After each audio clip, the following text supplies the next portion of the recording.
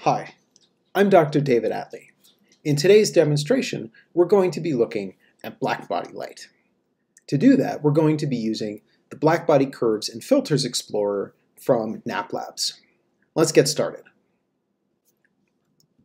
I've got my NAAP Labs window open. I'll come down here to Blackbody Curves, and then I'm going to choose Blackbody Curves and Filter Explorer.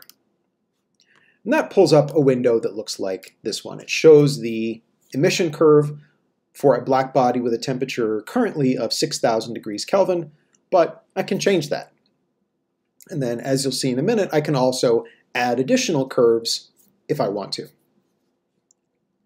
This simulator is going to let us see the two important features of black body light that are described by Wien's law and Stefan's law. So first, let's just start messing around with the temperature. Let's say I'm going to decrease the temperature of my black body. You'll see that as I do that, the peak of this black body curve is going to start moving towards the right, towards longer wavelength. You'll notice the x-axis down here in this graph, that's wavelength. So long wavelength on the right, short wavelength on the left. And as I reduce the temperature, the peak of that curve moves towards long wavelength.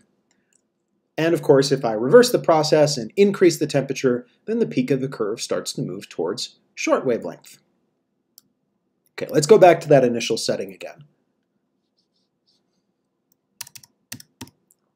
Uh, in fact, let's make that 8,000 for reasons you'll see in a minute. And I'm going to lock the vertical scale.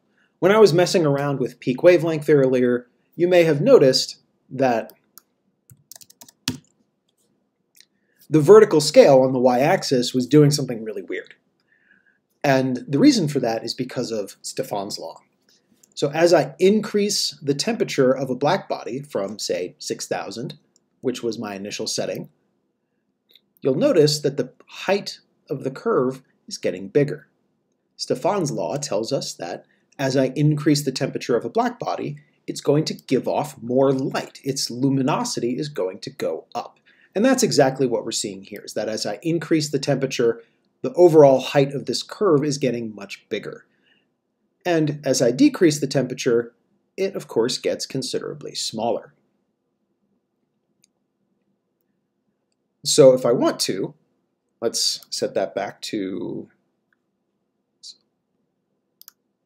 auto scale, and then set this to 6,000. Okay, so that's my baseline. That's about the temperature of the sun. Let's bring in a couple more curves of different temperatures. So I'm going to auto scale to this particular curve, the one for the sun. And then I'm going to add one for a much cooler star say with a temperature of about 4,000 degrees.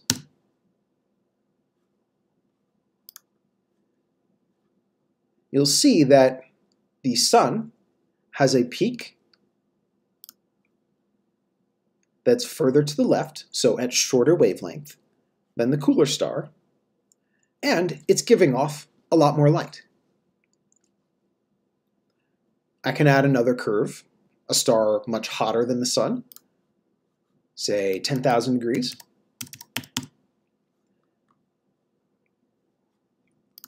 Go back to my sun scale. So we see our cool star over there, then the sun, and then there's the hot star way over there. It's completely off scale. Can't even see it. So I zoom in on that a little bit more and you'll see, okay, the wavelength has shifted again. It's now even shorter than it was before. Here it's at 483 nanometers. Now it's at about three or 290. As you can imagine, based on the way I'm discussing this, black bodies are going to play a major role when we start studying stars towards the end of the course. And our understanding of black body light is going to be really important to help us understand the luminosity and color of stars of different temperatures and different masses. So keep this in the back of your head as we move through the course because it's going to come back. But for now, bring up this simulator, play around with black bodies. Think about the apparent color that you would see for black bodies of different temperatures. Would, say, the hot black body, the one that we're focused on right now, would it have a bluer color or a redder color than the sun? Think these issues through, play around a little bit with the simulators, try and come up with answers. Have fun while you do it, and I'll talk to you in class.